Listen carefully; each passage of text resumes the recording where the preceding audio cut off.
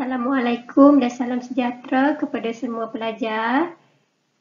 Cikgu harap semua anak didik cikgu berada dalam keadaan sihat hendaknya. Baiklah, cikgu-cikgu Badaria akan menerangkan kepada kamu semua tentang teknik menjawab rumusan. Pelajar mungkin masih tertanya-tanya, rumusan ini sama ada kertas satu atau kertas. Ya, rumusan ini akan disoal pada kertas 2 bahagian C pada soalan 9. Di sini, cikgu akan kongsi kepada kamu semua panduan untuk menjawab soalan rumusan. Pertama, baca petikan bahan yang diberi dengan teliti. Kedua, petikan berdasarkan bahan sumber yang mempunyai tidak kurang daripada dua fokus.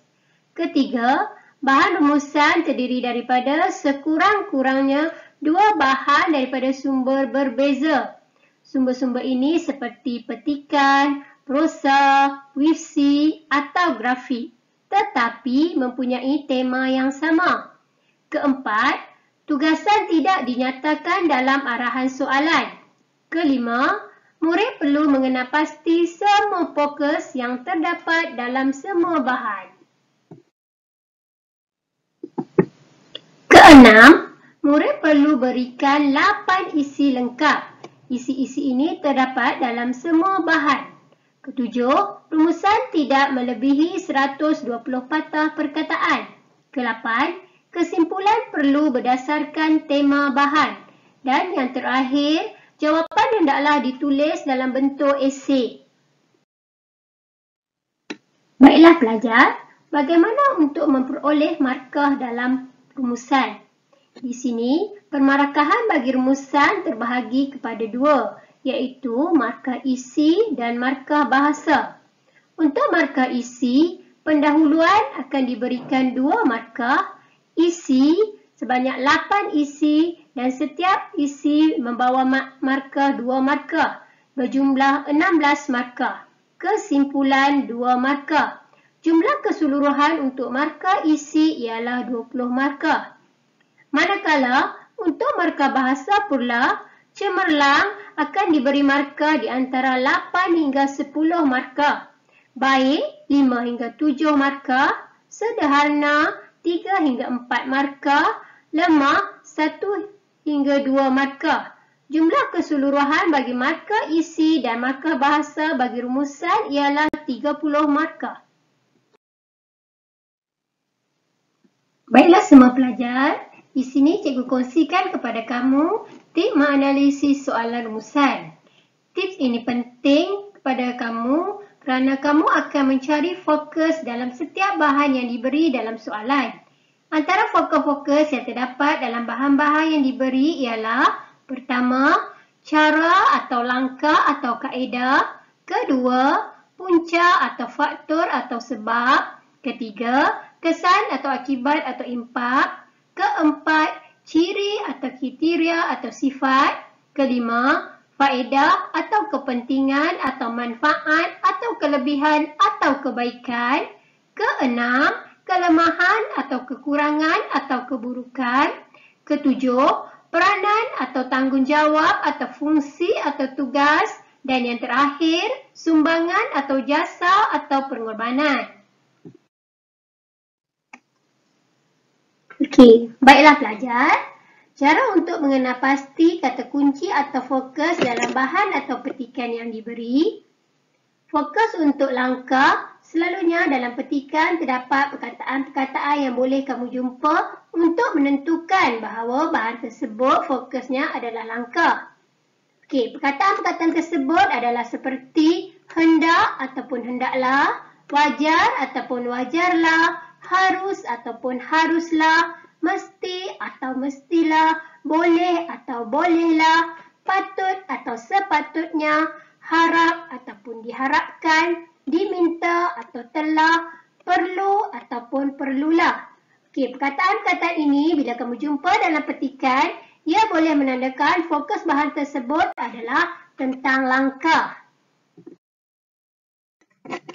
Okey pelajar, Fokus seterusnya ialah punca. Perkataan-perkataan yang boleh kamu temui dalam bahan yang diberi untuk menentukan bahan tersebut atau fokus tersebut adalah berkaitan dengan punca, perkataan-perkataan tersebut seperti kerana, menyumbang, mengundang, pencetus atau tercetus, didorong oleh atau mendorong, akibat daripada, terjadi akibat atau wujud akibat ataupun alasan. Perkataan-perkataan ini boleh membantu kamu untuk menentukan fokus bagi bahan tersebut adalah punca. Baiklah pelajar, fokus seterusnya adalah faedah. Untuk menentukan bahan yang diberi, fokusnya adalah faedah. Kamu boleh melihat perkataan-perkataan yang terdapat dalam petikan atau bahan yang diberi. Perkataan-perkataan tersebut seperti dapat, boleh, membolehkan, akan ataupun membantu. Perkataan-perkataan ini akan memudahkan kamu untuk menentukan fokus faedah. Okey, Fokus yang terakhir adalah kesan. Okey, untuk menentukan bahawa bahan yang diberi berkaitan dengan kesan, kamu boleh melihat perkataan-perkataan yang terdapat dalam petikan ataupun bahan yang diberi. Perkataan-perkataan tersebut seperti kebaikan atau keburukan, menyebabkan, menjadi atau menjadikan, mendatangkan ataupun membawa. Jika ada perkataan-perkataan ini di dalam bahan yang diberi, ia adalah berkaitan dengan fokus kesan. Baiklah pelajar-pelajar cikgu sekalian, di sini cikgu akan kongsikan tentang teknik menulis rumusan. Mungkin kamu tertanya-tanya, bagaimanakah anda menulis rumusan yang lengkap? Ini bergantung kepada apa yang telah diajar oleh guru kamu di sekolah. Tetapi, Cikgu cadangkan supaya kamu menulis rumusan dalam empat perenggan. Okey, bagi menulis rumusan bahagian pendahuluan yang mempunyai dua fokus, perenggan yang pertama, kamu boleh mulakan dengan rumusan membincangkan fokus satu dan ditambah pula dengan fokus dua dan tema. Tema iaitu tajuk yang terdapat dalam bahan-bahan yang diberi. Untuk fokus ini, kamu akan mendapat dua markah. Tetapi, jika kamu menulis rumusan membincangkan fokus satu dan ditambah dengan tema ataupun tajuk daripada bahan yang diberi, kamu akan mendapat satu markah. Hal ini kerana kamu hanya memasukkan satu fokus sahaja dalam bahagian pendahuluan. Okey, seterusnya cikgu kongsikan bagaimana untuk menulis pendahuluan yang mempunyai tiga fokus. Okey, untuk menulis pendahuluan yang mempunyai tiga fokus, kamu mulakan dengan rumusan membincangkan fokus satu, koma, fokus dua dan fokus tiga serta ditambah dengan tema ataupun tajuk daripada bahan-bahan yang diberi. Ini akan membawa markah sebanyak dua markah. Okey. Untuk rumusan membincangkan fokus satu dan fokus dua dan kamu akan tulis tema, ini akan membawa markah satu markah. Ini kerana kamu hanya memasukkan dua fokus sahaja daripada tiga fokus yang terdapat dalam bahan yang diberi. Okey pelajar, kita teruskan lagi tentang teknik penulisan rumusan untuk bahagian isi. Okey, bahagian isi ini ditulis pada perenggan yang kedua dan perenggan yang ketiga. Untuk perenggan yang kedua, kamu mulakan dengan antara, kemudian kamu tulislah fokus satu dan ditambah dengan tema atau tajuk daripada bahan yang diberi. Kemudian kamu masukkan isi yang pertama. Seterusnya, mulakan dengan penanda wacana untuk isi kedua serta penanda wacana untuk isi yang ketiga. Okey, perenggan isi untuk perenggan yang ketiga, kamu mulakan dengan fokus yang kedua ditambah dengan tema dan seterusnya untuk isi yang keempat. Ditambah pula dengan penanda wacana untuk isi kelima, penanda wacana untuk isi keenam, seterusnya penanda wacana untuk isi ketujuh, akhir sekali untuk isi yang ke-8. Okey, untuk uh, isi-isi ini, kamu boleh ambil seberapa banyak isi yang terdapat dalam bahan-bahan yang diberi. Tetapi, isi yang wajib ditulis hanyalah 8 isi sahaja daripada semua bahan yang diberi. Di sini, cikgu cadangkan supaya kamu memulakan isi dengan subjek supaya ayat kamu lebih gramatis. Okey, perenggan terakhir untuk penulisan rumusan ialah perenggan yang keempat. Kamu wajib mulakan perenggan penutup dengan menulis kesimpulannya, kemudian semua pihak. Semua pihak ini adalah siapa? Ini bergantung kepada bahan yang diberi. Sama ada terdapat pihak uh, kerajaan, pihak swasta, media massa ataupun pihak-pihak yang terlibat. Ini bergantung kepada bahan yang diberi. Kemudian kamu teruslah menulis dengan haruslah bekerjasama dalam menangani apa. Apa di sini kita rujuk kepada tema ataupun tajuk yang di, diberi dalam bahan. Okey, untuk perkataan ini kita namakan cadangan. Maksudnya pihak haruslah berbuat apa.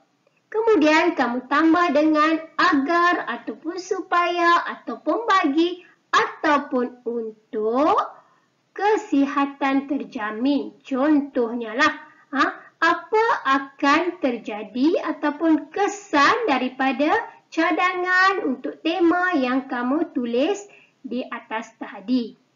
Okey, kesimpulan hanya tulis dalam satu ayat sahaja. Apabila kamu habis menulis keseluruhan rumusan yang lengkap, kamu wajib menulis jumlah patah perkataan daripada rumusan yang kamu tulis tersebut. Baiklah pelajar, pelajar telah pun faham dan mendengar teknik yang cikgu sampaikan sebentar tadi. Di sini, cikgu kongsi kepada pelajar bentuk soalan rumusan sebenar. Pelajar akan diberi satu petikan yang mengandungi dua atau tiga bahan. Daripada bahan-bahan yang diberi ini, pelajar perlu mengenal pasti tema ataupun tajuk daripada bahan-bahan yang diberi dan seterusnya mengenal pasti fokus-fokus yang terdapat dalam setiap bahan yang diberi. Okey, mari kita lihat bahan satu. Itu bahan satu. Kalau kamu lihat, cikgu ambil bahan ini daripada buku teks Bahasa Melayu tingkatan empat. Bahan satu, kalau pelajar nampak, kita boleh uh, tengok iaitu berkaitan dengan fakta dan prosedur pendermaan organ dan tisu di Malaysia. Bahan dua berkaitan dengan statistik pendermaan organ antara tahun 2008 hingga 2015. Manakala bahagian yang ketiga pula berkaitan isu pendermaan organ. Jika pelajar teliti daripada ketiga-tiga bahan ini, ia mempunyai satu tema ataupun satu tajuk yang sama, iaitu berkaitan pendermaan organ. Bahan satu berkaitan pendermaan organ, bahan dua berkaitan pendermaan organ dan juga bahan tiga berkaitan pendermaan organ. Maksudnya di sini, tema untuk ketiga-tiga bahan ini berkaitan dengan pendermaan organ. Okey, selesai kita mengenal pasti tema yang terdapat dalam ketiga-tiga bahan ini. Seterusnya, kita teliti pula fokus-fokus yang terdapat dalam ketiga-tiga bahan ini. Masih ingat tak pelajar fokus-fokusnya? Okey, fokus-fokus yang terdapat dalam bahan-bahan yang diberi mungkin langkah, kesan, faedah, punca, ciri dan sebagainya. Seperti mana yang cikgu telah terangkan sebelum ini. Untuk bahan yang pertama, jika pelajar teliti dan baca betul-betul pelajar akan dapat mengetahui bahawa bahan yang pertama berkaitan dengan prosedur. Prosedur untuk pendermaan organ di Malaysia. Okey, bahan yang kedua, pelajar perlu ambil dan pelajar perlu masukkan ke dalam rumusan yang akan ditulis nanti. Okey, bahan dua iaitu statistik. Ha, pelajar akan menulis statistik untuk penerimaan organ di Malaysia pada tahun 2008 hingga 2015.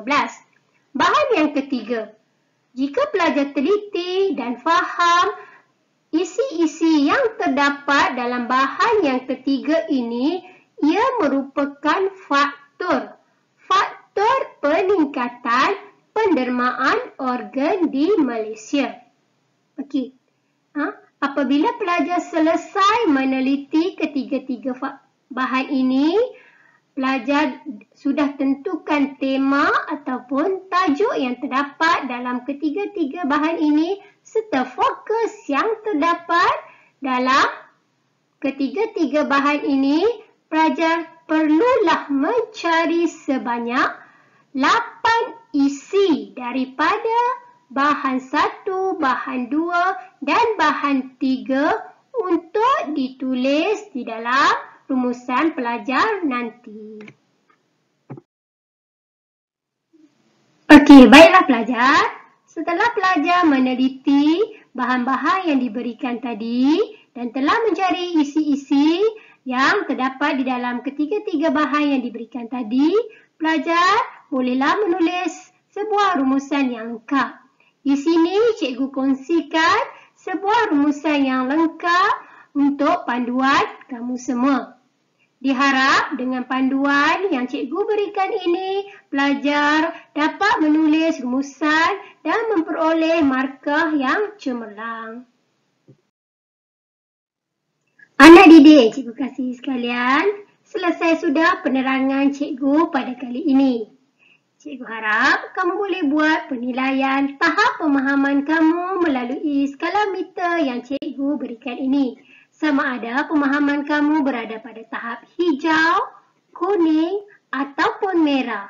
Selamat menilai anak didik sekalian.